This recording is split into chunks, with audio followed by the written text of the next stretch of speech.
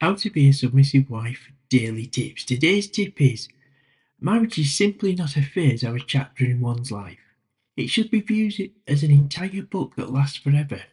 This book should be filled with memories of one's joys shared and the challenges overcome by you and your husband. Instead of considering divorce due to boredom or a fading passion, resist the temptation to seek excitement outside of the marriage bed. Instead, invest effort in rekindling the love that initially brought you together, reminding yourself of why you fell in love with your husband in the first place. Do not allow anything or anyone to come between you and your husband.